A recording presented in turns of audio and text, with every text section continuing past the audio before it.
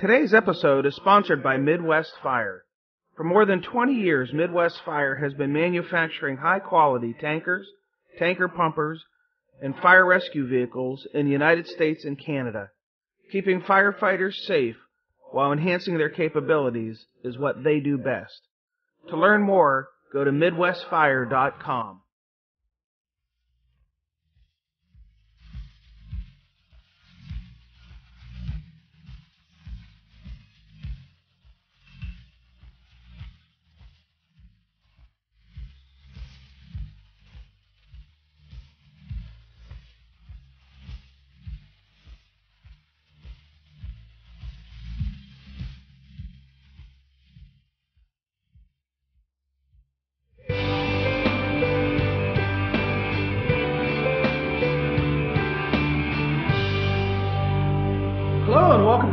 261 of the Situation Awareness Matters show. I'm your host, Rich Gasaway.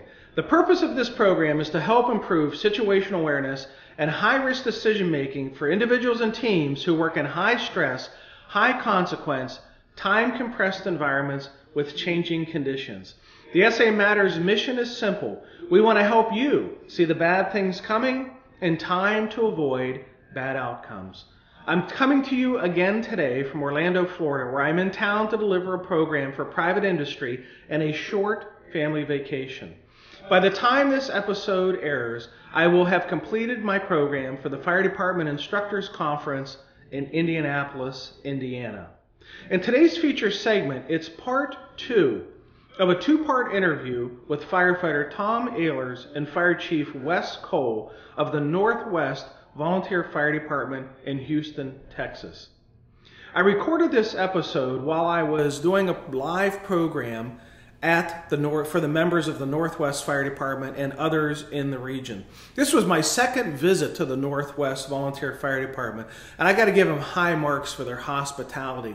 Both visits they treated me absolutely splendidly, and I really appreciate that.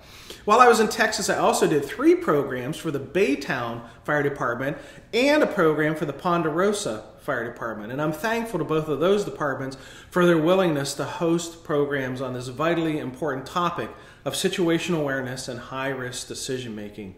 In case you missed last week's episode, uh, remember that it was part one of a two part episode um, where we did this interview with, um, with Tom Ehlers and uh, Fire Chief Wes Cole.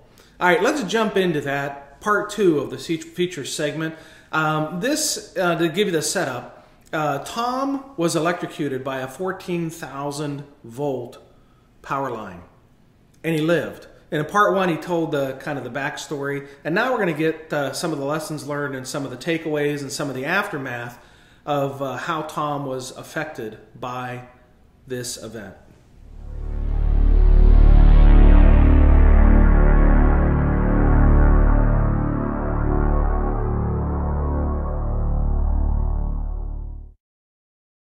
I knew where the power lines were, but I knew I had to cross the street and I had to cross the driveway to get back to where everybody else was. I couldn't stay where I was at, it was too hot.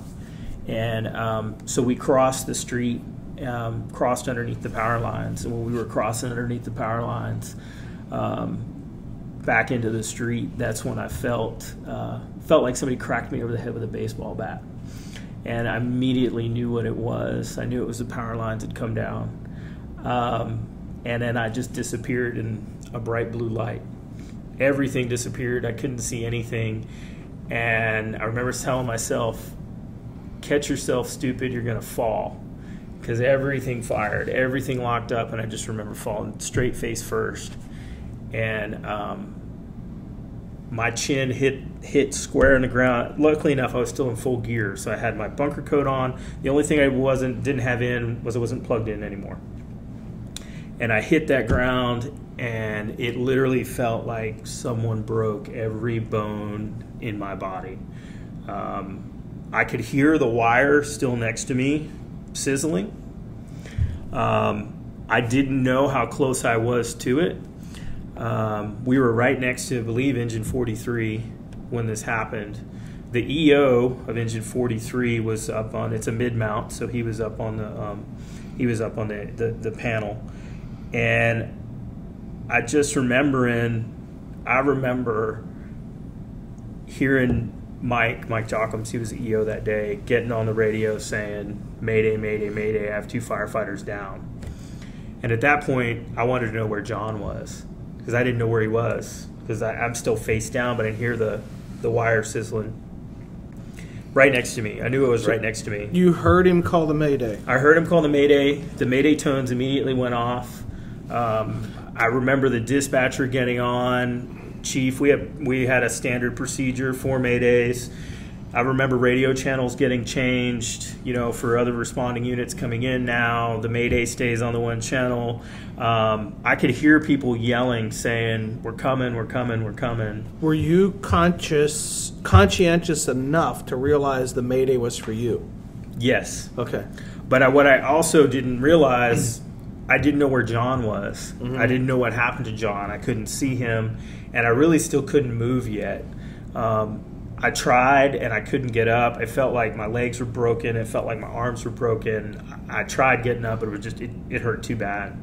And I was finally able to roll over on my my bottle because I figured if I rolled over on my bottle, that was less of me that was in contact with the ground. That because I could hear the wire, I knew if I got up on my Did bottle, you know where the wire was? I knew that it was next to me on the Okay. ground because I could hear it. I could hear the I could hear the electricity, so I knew it was still live. And I just knew I rolled the opposite direction away from it to get up on my bottle to try to get away from it. Um, I don't know who the first firefighter was to me. All I remember saying to them was, "I think my arm is broken," and one of them reached down and grabbed that arm. I was trying to protect my arm. They reached down and grabbed my arm, and I just I screamed. It felt like they had just ripped my arm off. Um, and I could hear other people saying, "Don't grab his arm. His arm's broken." And that's when they grabbed me by the straps and got me up, and um, started getting me away from the power lines. Um, so they got me in the street, and then I guess another line fell, or or that line that was already on the ground started arcing, and they wanted me to sit down in the street, and I I couldn't do it. I was in fight or flight at that moment, and I was getting across the street, even if I had to take myself across the street. I could barely walk, like I was hurting so bad. So um, I made it across the street, and that's when I I laid down on the ground, um, and um, that's when John came over. I saw John, um, so I knew that he was okay. So I knew the Mayday was finally just for me.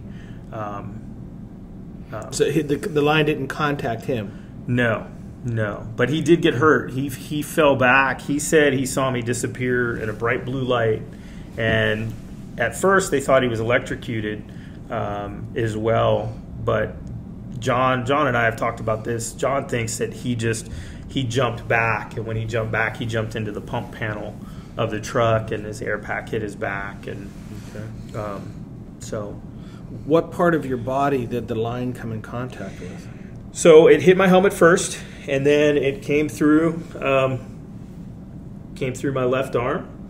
Um, I had first, second, and third degree burns. You can see the two scars there. So there was it, it came through twice, two different spots, and then it blew out my right foot.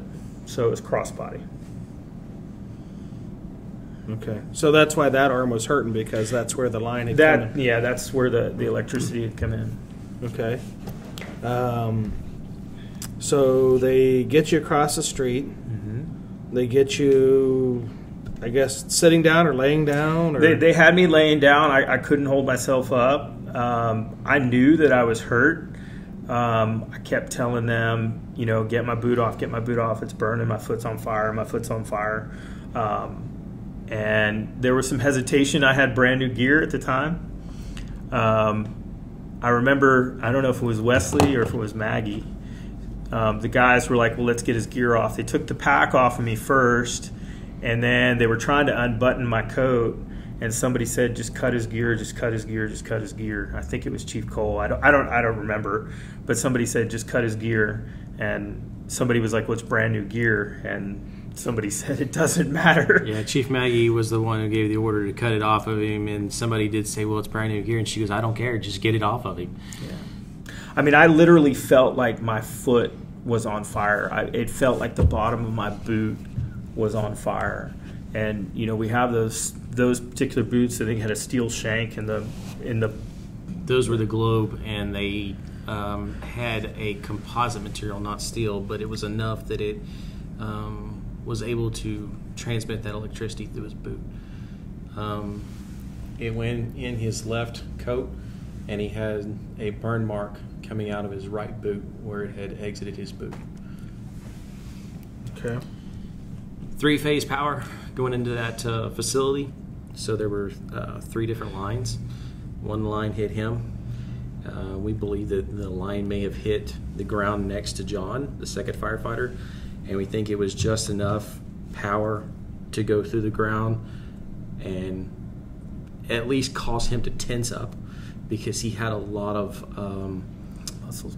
muscle spasms um, directly after and for about 24 hours he had muscle spasms while he was in the hospital so tom and john came we believe came in direct we know he came directly in contact we believe the second firefighter was um, close proximity and caused him to receive some of that electricity their eo uh, was standing on the pump panel and um, the one of the lines fell on top of the truck and almost got a third firefighter. Luckily, he was able to jump. Hmm. He jumped away from the line and called the mayday. All right. Keep telling the story from there. Well, the the guys uh, that volunteer that that that was on the, the booster truck with me, he's also a licensed paramedic. So he was he was the one that was treating me at the time because we didn't have medics on scene yet. Um, obviously, the medics were now en route because that came just automatic aid. Um, I remember, I think you called for a helicopter at that point. Um, and the guys are cutting my clothes off. Of course, you know, they don't know what they're going to see. I don't know what I'm going to see. Um, so they were trying to see where the electricity went in me. I mean, the burn marks on my coat and things like that. I mean, it, there wasn't a lot to see. It wasn't like I was charred and, and, all that sort of stuff. So at first they were like, you know, what what really happened? But um, I kept screaming, "My foot's on fire! Please get my boot off! Please get my boot off! Please get my boot off!" So I got my pants off, and it came time to take my boot off. And I, I remember, I remember Ian Ian looking up at me and he just had this look of horror on his face because obviously as a paramedic and you know this is one of your own he had just ridden to the fire with me in the booster truck and I didn't know what he was going to find. I didn't know if he's going to deglove my foot or, you know, what was going to happen when he pulled that boot off. And I just, I remember the look on his face of just, I don't want to do this, and I don't want to. It was a look of just complete horror. I don't want to be here, like right now, doing this. And um, I told him, I said, you got to get my boot off. You, you got to get my boot off, Ian. Just get my boot off. And he pulled my boot off, and the look on his face was just a, a sense of relief of what doesn't look that bad. um, it was about an area at the time, it was just an area of white leather about that big. So there wasn't very much to see at that point. Um, still hurt. I mean, it felt like my leg was on fire. I mean, like it was just burning my foot. Mm-hmm. Um, I know. I think somebody came by with a scoop stretcher off the rescue. They were loading me on the scoop stretcher, um, and next thing I knew, the paramedics were there. Um, I think there was some discussion about flying me, and then the medic said, "No, we're going to take me." And at that point, I just I mean, I was so exhausted. Like, I just, I mean, I couldn't believe that, like, what had just happened and where I was. And um, I don't usually, this is, that, that was the second time ever that I'd actually had my phone with me in my pocket when I'd gone to a structure fire. Um, well, at first, I didn't know it was a structure fire, I thought it was a grass fire and I hadn't taken my phone out of my pocket. And I remember saying to to Chief Cole, uh, Assistant Chief Cole, Maggie Cole Wesley's mom, um, you can't call my wife. You have to call my in-laws and let them know because my wife was five months pregnant. Um, and the look on Maggie's face, I mean, it's it's it's not anything any chief wants to have to do. Um, no one ever wants to have to do that. Um, but she did. She she had to call my wife and had to call my in-laws. whom My in-laws went and picked up my wife. But I remember them loading us in the ambulance. John was sitting on the bench seat, and I was on the um, I was on the stretcher. They immediately did a 12 lead on me to make sure I didn't have any damage to my heart. I don't remember what the outcome of that was. He wasn't terribly concerned about it because they took the 12 lead off of me and put it on John uh, to do one on John and they gave me some some pain medication, um, which which helped, but not really. Um, Maggie was in the back of the, the, ambulance with John and I. John was upset because the 12 lead was still on him and not on me. John's older than I am, so by protocol they have to have it on the older patient. um, so John was pretty pretty ticked off about that for a little bit, and um, I just remember Ian was driving the same guy who I drove in the booster truck, he got in the ambulance to drive. And, uh, you know, I think there was a sheriff's deputy that escorted the ambulance to the hospital to help and all that sort of stuff. And I, I knew I was, I knew that I was, I was hurt. Uh, I knew that I was hurt. My biggest concern at that time was what did I burn between my left arm and my right foot, which um, like I said, I had that friend in college who was killed. Uh, he was electrocuted at a construction site. He had the same thing happen. It went in one arm, came out the opposite foot, and he burned everything in between. Um, he lived for about six to eight hours after. Um, they just kept removing parts of him until they couldn't remove anymore, and he just passed away. So, mm. um, but he burned everything. I mean, his spleen, his intestines, a lung. Um, so I, I understood what could be going on at that point. So earlier today, when we were in class, and I was talking about some things, and you said, "Wow," he says this ties to some things that I'm, we're going to be talking about later. There were a couple of things that, you mentioned earlier today. One of them was intuition, and one of them was, you know, when your life flashes before your eyes. And Then you said you saw this envisionment of your daughter being raised without you, and where did where did first of all what does the intuition tie in to the story and then where and when in this story were you when you had thoughts about you know your daughter being raised without you? Are we there yet? Did, or did we get past that? Yeah we, we, we so it? we got past that. I think the intuition was is when we were pulling the the when we were pulling the three inch with the blitz fire on it i just got a real bad feeling about the power lines because i knew where they were. Um, was there fire impinging on them? Yeah, I mean they were in the smoke column for sure. So I mean there was okay. definitely heat and stuff impinging okay. on them. Um, but it was still early on. It mm-hmm. wasn't like when we first pulled up, it wasn't quite as bad. Like Chief said, it was blowing through that stack of pallets, so it hadn't quite made it to the power lines. But you know, Chief is is very big on training and things, and that's always one thing that you know where are the power lines, where are the overheads. Um, you know so knowing where that is and what was going on that was just one of those things. But when i saw i can't remember who was pulling the blitz fire but i just got this feeling in the pit of my stomach that this isn't where we need to make sure that they get out from underneath those as quickly as possible. And that's why we moved the blitz fire over a little bit further down the property so we weren't directly underneath the, the lines. And then you even said which didn't escape me but you said when you were being called back to the muster point and you had to cross under the lines, you actually thought about uh, crossing under the lines might not be. Yeah, crossing idea. at that location might not be a good thing, um, but where we were and the way the fences and things were set up, we were basically trapped on that property, and we had to cross right there. There wasn't, you know, walking down the street and going you know, we were blocked by fences. We, mm-hmm. we had to go, we had to cross where we crossed. But you were conscientious enough to at least acknowledge the concern for the power lines before you crossed under them. I did. Yeah. But it was let's get under out from underneath these things as soon as possible. Yeah. Okay. And and you know that that moment of you know probably the most peaceful point in my entire life. Um, you know, was this event. I mean, when I got electrocuted and I felt that electricity go through me, I knew exactly what was happening. And I knew the potential for me to not recover from this. And um, I was very much at peace with that. What I wasn't at peace with was was what was going to happen with my wife and what was going to happen with my un- unborn daughter. Um, it was her life that flashed before my eyes. Um, you know, a little girl taking her first steps, and I'm not there. A little girl at her first dance, and I'm not there. You know, uh, a girl going through high school and prom and wedding day, and and not being there for any of that.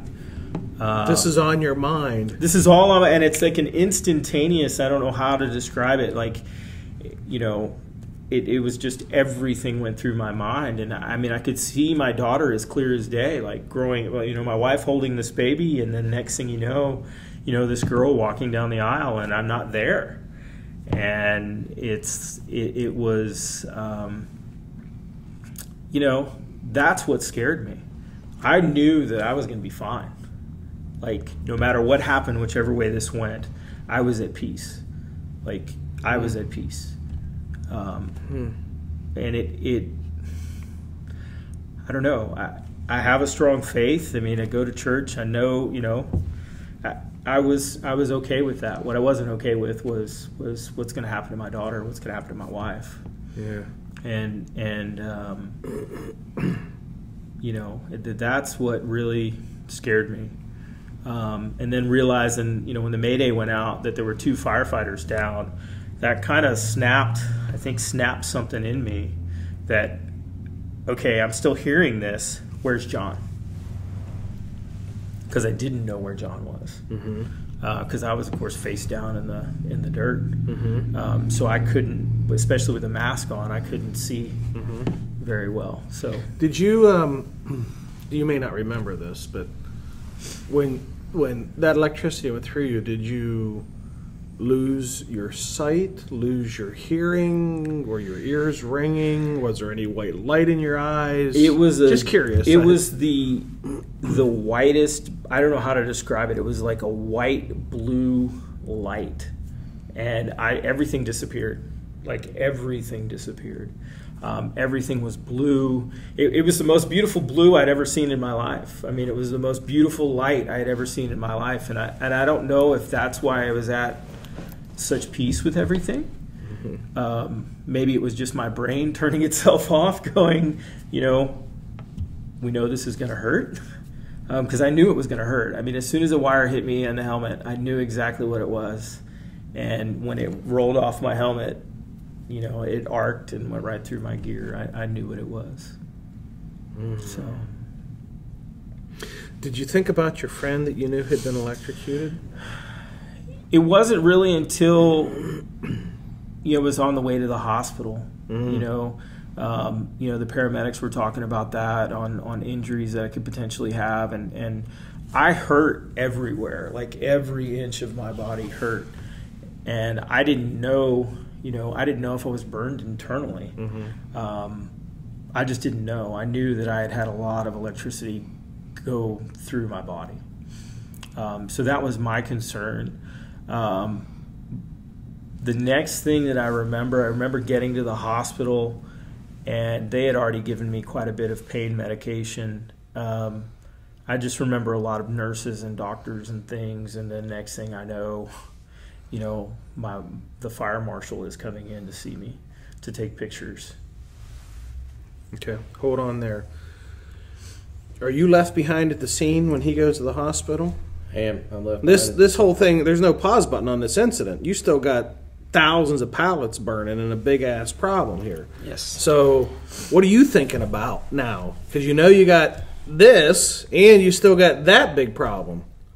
Yes, and you know it's hard to put the fire in the back of your mind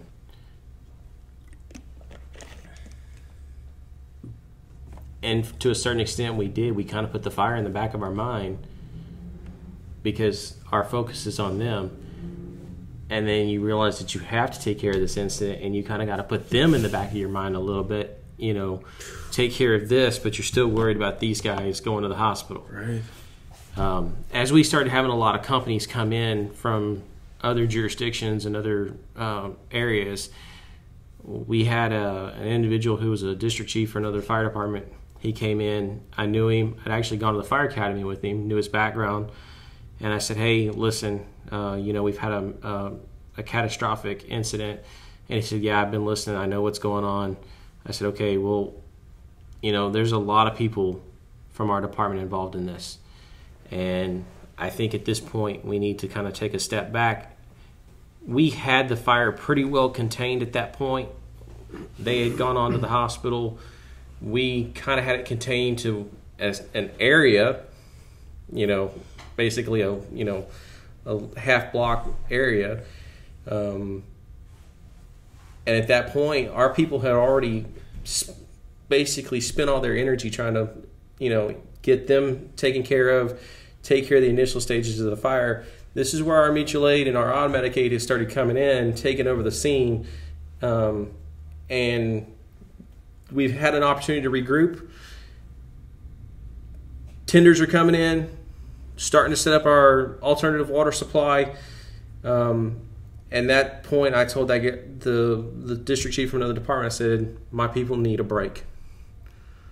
They're physically drained. They're emotionally drained." I, I need you guys to come in and help us. And at that point, I turned the scene over to one of my district chiefs, or turned over to a district chief from another department, and we did a face to face. And at that point, I left the scene to go take care of my guys at the hospital, knowing that we had left the scene in capable hands to check on them. Okay. Right. So. as the dust settles on the incident, you guys all get back, cleaned up. You're at the hospital. Your wife's there. She knows about it. You're getting treatment. Um, I want to cover two more aspects. One, what were the lessons learned from this incident that people could use as takeaways and learning points? And then two, I want to understand what was the longer term prognosis of your condition as a result of that event. So let's first do the lessons learned, then we'll then we'll wrap up with the uh, the longer term.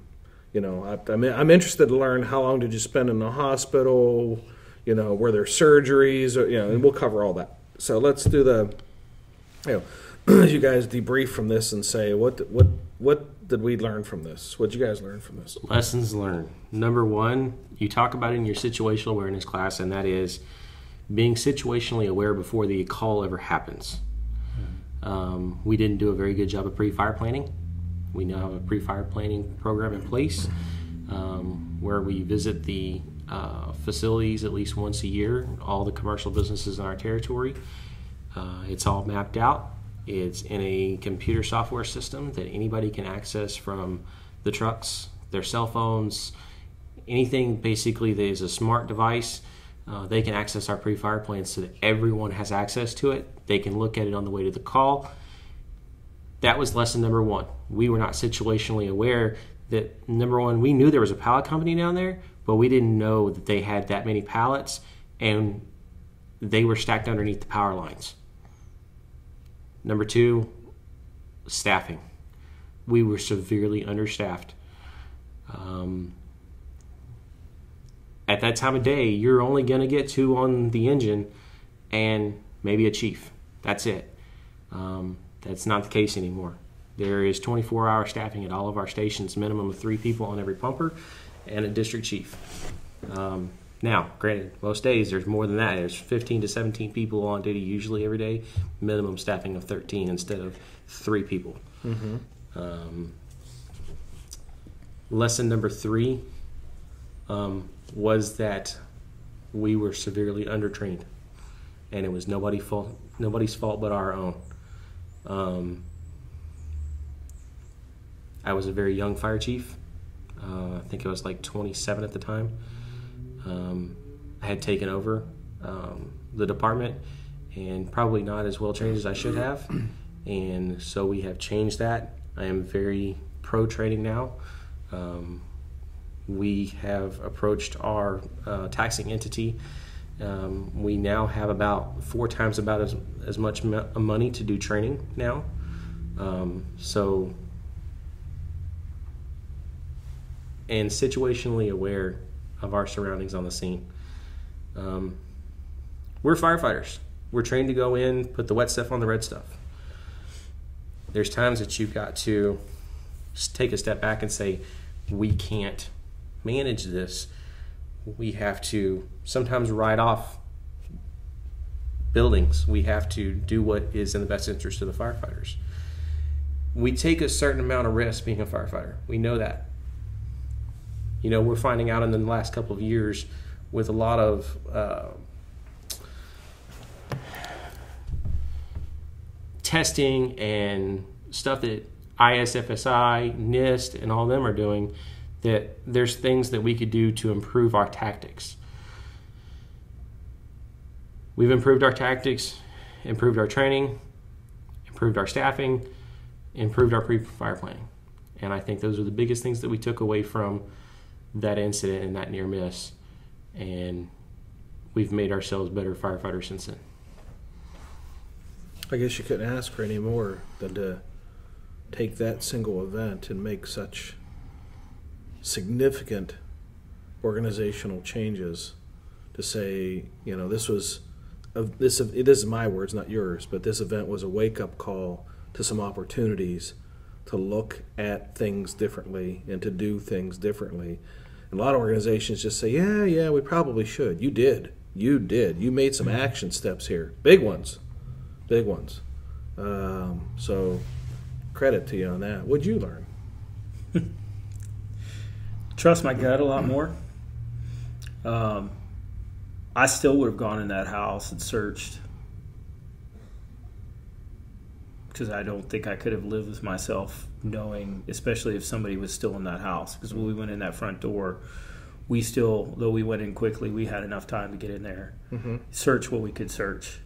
Um, that was a big thing that, that I learned was, you know, if you can get in there and search the living room, or you could at least get in there and search the kitchen or the hallway, Mm-hmm. you know, give give somebody a fighting chance. Mhm. And, and you know, we got in there and did that. Mm-hmm. Um, situationally aware. I mean, definitely trust in my gut a little bit more. You know, um, looking back on it, I mean, you know, there were two or three times I said to myself, "Watch out for those power lines. Watch out for those power lines. Watch out for those power lines." And that's a big thing. Um, even Chief Cole, I mean, he he probably remembers this. When I got back, my helmet stayed on my head no matter what we were doing, overhaul, whatever. Other guys are taking their helmet off. Guys would give me a hard time about having my helmet on. That helmet saved my life. If I had not had my helmet on, that wire would have hit me in the head and I would have been dead. There's no doubt in my mind because it would have gone straight through my skull and not through my arm. And that would have, I know, I know that that one would have killed me. So making sure that, you know, you're in your PPE when you need to be in your PPE. You know, you don't know when this is going to happen.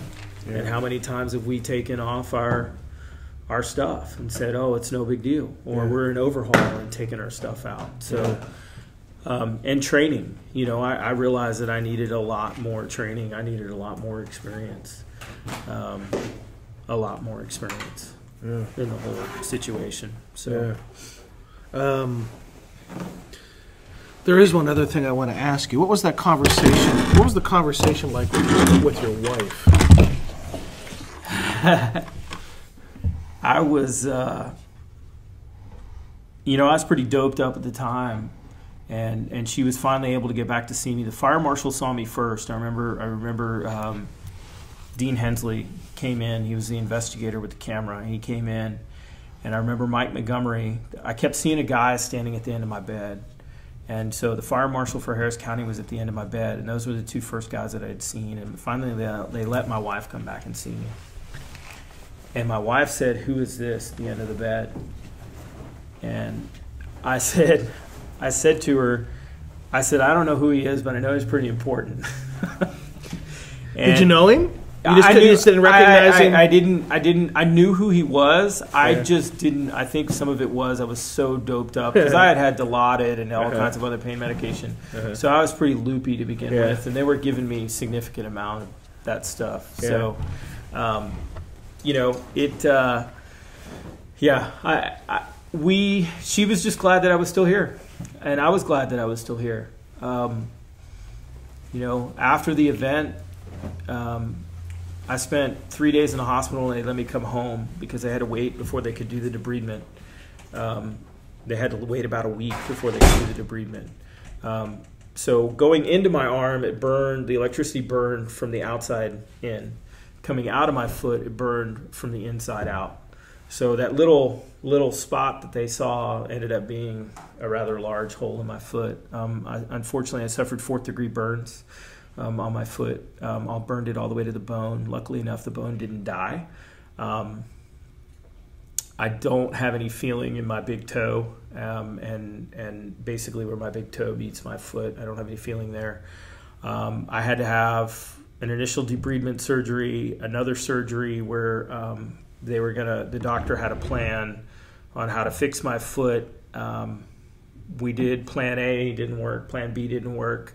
Uh, we ended up on Plan like C 2.5 or 3. Um, plan D was to take my big toe, and he said if I had taken your big toe, I would have had to take your foot. So I came very close to to um, to losing my foot. The surgeon did um, something he had never done before to save my foot. Um, they they filled the hole with collagen, so the same thing they put in women's lips and things, um, and then they put a wound vac on it and let the blood vessels grow up through the collagen, and then I had to have a skin graft over that. So. Um, luckily enough, uh, it took me five and a half months to get back to full duty. So, um, and I think we caught a structure fire the first day I was back. Yeah. It was like a four alarm burner, and I got my butt chewed when I got home that night because I made it on the news.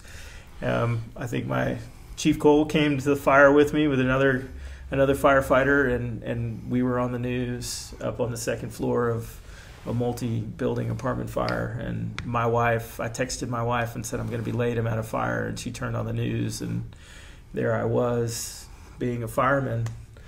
And so that was hard. Um, you know we had to have a serious conversation. Um, you know i told my wife I'd, I'd give it up if she wanted me to and she told me it would kill you if you gave it up she just didn't have the heart to do it so um, you know I, I did paramedicine and she was happy that i became a paramedic on the truck for a while but then she found out how dangerous it was being a paramedic on the truck.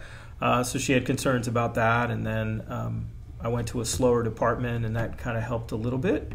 Um, and then I got moved into the fire marshal's office, and then into the chief position. So whole different set of uh, whole different set of set of rules. Mm-hmm. I think Chief Cole brought my gear. Yeah, let's get a look at this. So this is obviously my left uh, my left arm here. You can see the Hold, hold up here so I can. you can see the two scorch marks where the electricity went through. Okay. And then you can see here, these are just pinholes. I think everybody, Chief went over my gear and couldn't find anything. And the guys initially just thought that maybe I had a, a hole in my gear. but then when you set it up next to each other, you can you can match the, the Yeah. holes and tell that that's where That's the really power line. really small. And then you can see on the inside where it burns more.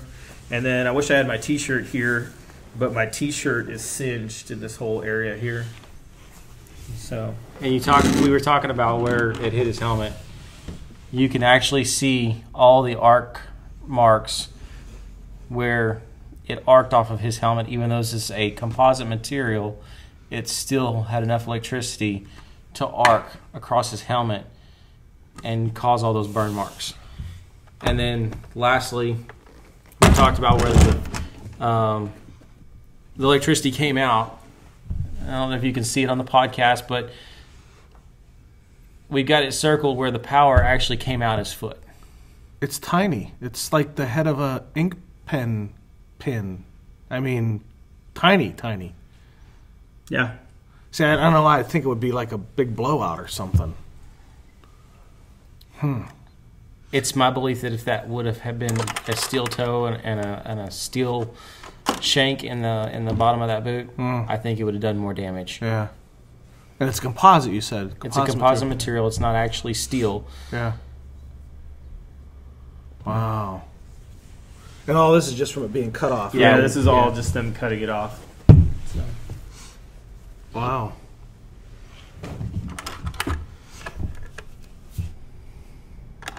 Huh.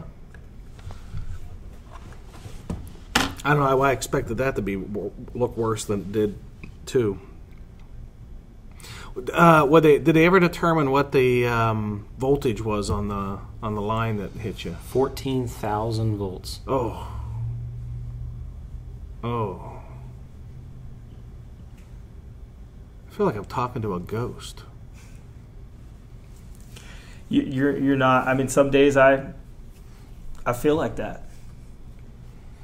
It almost defies comprehension as to how you would live.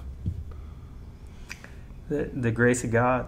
That's all I can think of. There's a plan for you for something. I don't know. I don't know for sure what, but holy cow. Yeah, if you wouldn't have had your helmet on. No, I, I mean, and and still to this day, I mean, I, I yell at guys, you know, put your helmet on, and uh, guys will always say, "Why do we need our helmet on? Why don't you, you know?" I'd be in a traffic accident and have my helmet on, out in the middle of the roadway, and guys are like, "Why do you have your helmet on?" I have my helmet on. So, you know, it it, it PPE is is you, you never know. That's why you leave these things on. Yeah.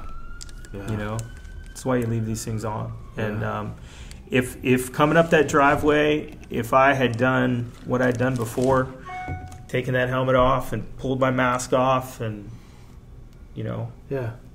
Yeah. Gear, would've- I- start gearing down and you know, it would have been a different story. I know that. Yeah. And it was hot that day, so it's not unrealistic that you would do something like No. that. I mean, I don't know how many times we'd come out of structure fires, and as soon as we were out of the fire, you know, we took our helmet off, pulled our hood down, Yeah. took our mask off. Yeah. That day I didn't. Yeah. I didn't. I left it all on. I think it was because it was so hot. You know, I, we didn't when we came out of that house. We didn't know what we were going to be into. So, but yeah, the the equipment, um, it, it saved my life. Um, If if I didn't have on all my PPE, I, I know I know I would not be here. I know I I, wouldn't be here. I, I agree. So. Uh, is there anything that we would want to cover that we haven't covered in the discussion or the questions that I've asked? Any important takeaways left unstated? Dr. Gasaway, being the fire chief of a fire department of 75 people, it's my responsibility that all 75 of those people, when they come for their shift, they go home in the same manner in which they came, and they go home to their families. Don't take training for granted.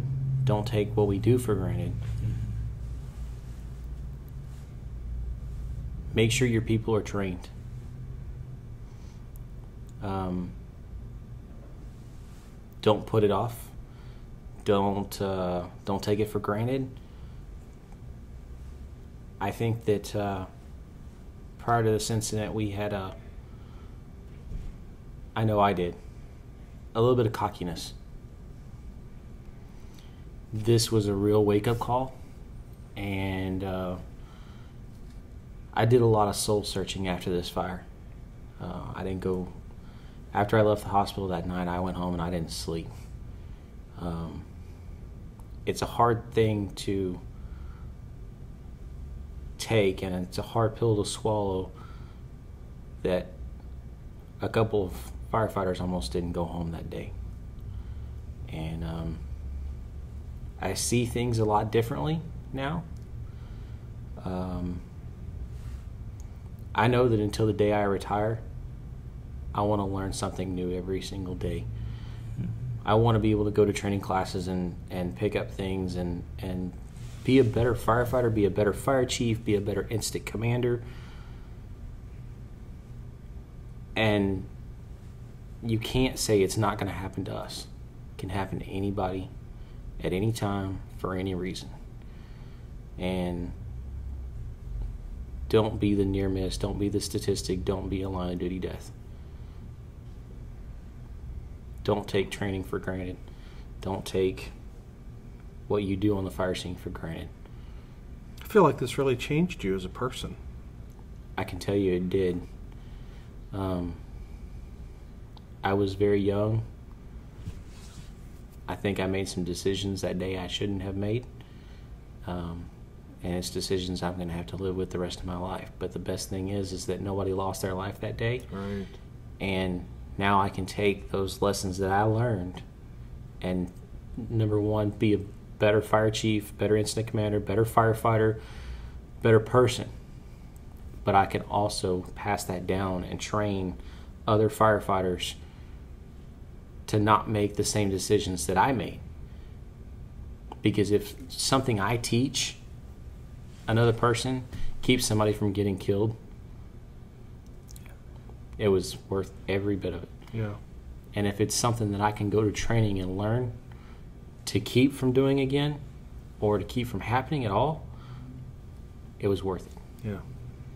Well, this, I think this episode will be a real eye opener uh, for the people who watch it to realize just how quickly it can change, how vulnerable we are, how we think about it, but then still do things, how you thought about your your unborn daughter living without without a without a father how it changed your entire perspective on training and your commitment to personal development and the others in your department being the best that they can be and not taking things for granted. There's just so many good, solid takeaways from this interview.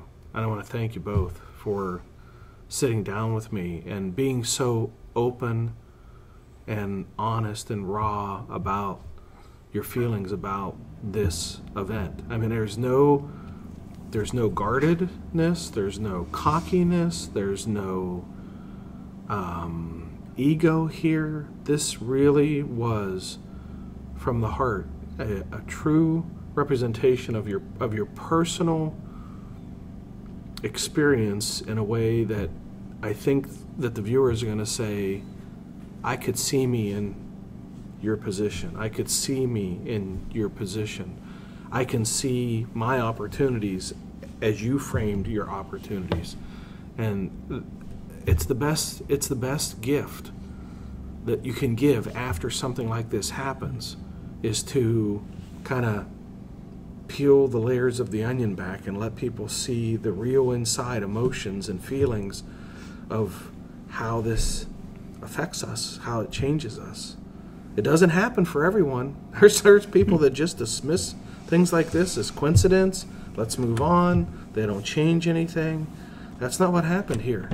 That is not at all what happened here. I mean, I've been here twice. You know, it's. I mean, it's a gift if I get invited to an apartment one time. I've been back two times in two years on the same topic. That speaks significantly to this passion for awareness and safety and improved decision making and and I see it in your people too. You know I I get the sense uh, that, that that they get it and they're enthusiastic learners. And that, that all I guess really just all comes together as a part of this and a part of your changed view of leadership and and commitment. And uh, thank you thank you thank you Thank you. thank you chief Thank you for letting us uh, pass our message along. yeah I, I appreciate it so much Thank you to Tom Ehlers and Fire Chief Wes Cole for sharing this remarkable story and your lessons learned. Remember, this is part two, so if you haven't uh, listened to part one, you might want to go back and, and give it a listen too. Well, I never thought that I would be here, but here I am in the fifth anniversary year of this show. I'm very proud of that. We are the longest running, consistently broadcasted, independently operated internet show focused on a singular mission to improve the safety and survival of individuals and teams who work in high stress, high consequence environments. Let me pause for a moment to elaborate on one component of that last statement, and that is the consistently broadcasted part. A new episode of this show has been released every Tuesday for the past five years. I've not ever, ever missed an episode on a Tuesday. Never, ever. No other podcaster in this space can make that claim. In fact, most podcasters fade out after just a dozen or so episodes. or their podcast very inconsistently. Not me. You can set your clock on the fact that you're going to have a new episode in your feed every Tuesday morning. Fresh, new content to listen to. It's my promise to you. Now, I have to admit, it's not always easy to keep that promise. Sometimes my travel schedule gets kind of janky, and I can be up till after midnight on Monday night recording these intros and doing the editing so that you have that episode by 7 a.m. Tuesday. I totally understand why other podcasters fade or are inconsistent. As I've stated in past episodes, it can get pretty lonely here behind the mic and camera. And by lonely, I mean that the podcasters or the videocasters rarely get any feedback from you, the listeners and viewers. Sure, we see the stats that tell us the episode's getting downloaded thousands of times, but rarely does anyone ever write a review or send an email with some feedback, so we don't ever really know if the show's being inspiring to others or not. But I just keep on keeping on, putting out the best possible content, safety focused, that I can come up with. And now I want to thank John Kraus, who sent me an email a couple weeks ago providing some nice feedback about the show, and that really put a smile on my dial. And, uh, and, and thank you, John, for that. To honor those who've been watching and listening to this show, I'm going to do a giveaway of some products from our sponsors and supporters. So keep watching the upcoming episodes and keep an eye on the SAMatters.com website for that. Hey Rich, this is Dave Dotson. Hey, congratulations. Fourth anniversary for your webcast. That is awesome. That is absolutely awesome. And hey, thanks for the opportunity to let me do one of your podcasts. And uh, I think our episode's number 66. Right? It, it's still out there online for you guys to look at. Uh, but again, Rich, thank you so much for that opportunity and congratulations. The Situation Awareness Matters show was launched in 2014 with a purpose to give a platform to those who have had near miss events to share their stories, just like the one you just listened to. When I'm on the road delivering the classes on situational awareness, I often ask attendees about their near miss events and have them tell their stories in class. And they have shared some amazing, amazing stories. And it's stories like the interview that you just um, heard with the members of the Northwest Fire Department that in, motivated me to launch the podcast in the first place so that their lessons could be shared with the bigger audience. That's you. The Situation Awareness Matters show, podcasted as SA Matters Radio, and our companion video program, SA Matters TV on YouTube, along with other videos posted there, have enjoyed over 800,000 downloads. And that number just blows my mind and far exceeds all my expectations.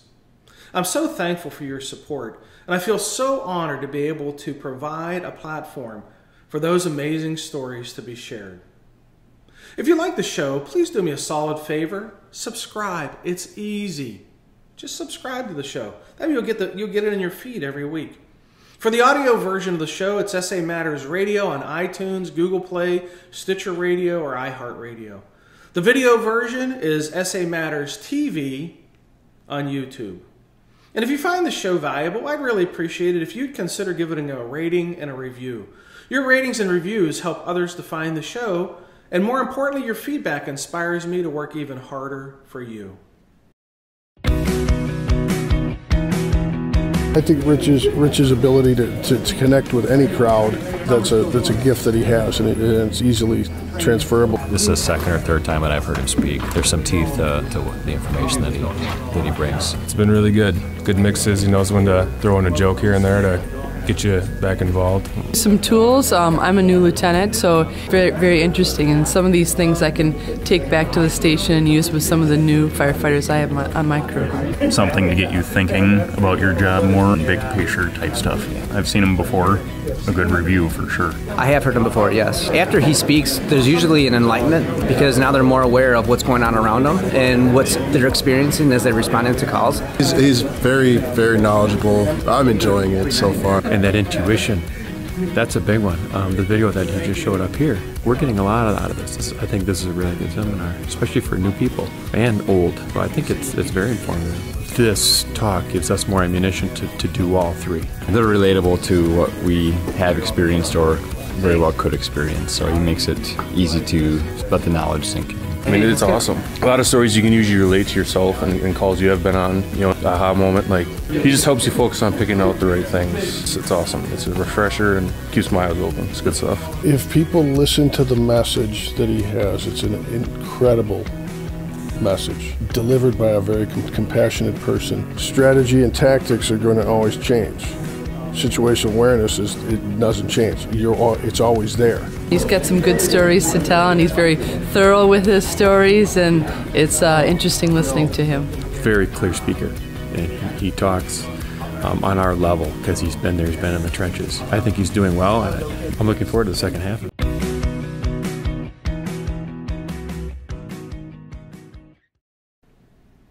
Since 2007, the Situation Awareness Matters instructors have helped more than 1,300 organizations and have trained over 75,000 individuals on improving high risk decision making, including first responders, industrial workers, military personnel, business leaders, medical professionals, utility workers, highway workers, public transportation operators, aviation workers, oil refinery process operators, and more. If you work in a high risk, high consequence decision making environment, we're here to help to improve your safety and your survival and to help you accomplish the most important mission of all. And that is to go home to the ones who love you. I would like to take a moment to thank and honor the companies, organizations, agencies, and departments that have hosted recent Situation Awareness Matters training for their team members. The Baytown Fire Department in Baytown, Texas. The Ponderosa Fire Department in Houston, Texas. The Northwest Volunteer Fire Department in Houston, Texas. The Maryland Fire Rescue Institute's National Fire Service Staff and Command Program in Towson, Maryland. The Pearl Harbor Naval Shipyard in Oahu, Hawaii. And the Fire Department Instructors Conference in Indianapolis, Indiana. If you're interested in knowing where we're going to be upcoming, here's the schedule. April 14 to 16 at the Washington Fire Training Officers Association Conference in Wenatchee, Washington. April 25 at the International Association of Fire Chiefs Company Officer Leadership Series in Atlanta, Georgia. April 27th at the Cook County Emergency Management Agency Seminar in Grand Marais, Minnesota. May 7th, the Scott Township Fire Department in Evansville, Indiana. May 8th, the Fast 19 Conference in Nashville, Tennessee. May 20, the Washington, uh, May 20, the Buckley Fire Department in Buckley, Washington. May 21, the Washington State Fire Chiefs Association Conference in Kennewick, Washington. If you want to see the locations of all the upcoming events, just head over to the samatters.com website. All the events are listed there. If you're interested in hosting a program, just click on the Contact Us tab on the top of the SA Matters homepage and I will give you a call. It's a really easy thing to set up. If you want to become part of the SA Matters community of learners, there's several ways you can do that. Just click on the show notes to see how to get connected with us by signing up for our monthly newsletter, by subscribing to the SA Matters radio podcast, by subscribing to the SA Matters TV YouTube channel, and how to follow us on the social media channels of Facebook, Twitter, LinkedIn, and Instagram. There, we are sharing ideas about how to improve situational awareness, how to make better decisions under stress, and how to improve the skills of critical thinking and resilient problem solving. Well, that's it. Episode 261 of the Situation Awareness Matters show is complete. Thank you again to my guests, firefighter Tom Ehlers and Fire Chief Wes Cole from the Northwest Volunteer Fire Department in Houston, Texas. Thank you to our awesome sponsor, Midwest Fire. Hey, if you're in the market for a pumper, a pumper tanker, or a brush truck, you need to check them out at MidwestFire.com. Thank you to our associate sponsor, Chief Miller. Thank you to all the companies, agencies, organizations, and associations that have hosted Situation Awareness Matters training programs. Thank you to all the organizations that have hosted live stream training programs where I come to your organization live via the internet to train all of your members, dialogue, interaction, back and forth, two way, just like a live event, except a lot cheaper. Thank you to the more than 2,500 students and graduates of the highly acclaimed Situational Awareness Matters Online Academy. The feedback I receive from Academy graduates is just amazing and very humbling, and thank you for that. But most importantly, thank you, the listeners and viewers of this show, for sharing some of your valuable time with me today. I really appreciate your support of the SA Matters mission. Be safe out there, and may the peace of the Lord and strong situational awareness be with you always. You've been listening to the Situational Awareness Matters radio show with Dr. Richard B. Gasaway. If you are interested in learning more about situational awareness, human factors, and decision making under stress, visit samatters.com. If you are interested in booking Dr. Gasaway for an upcoming event, visit his personal website at richgasaway.com.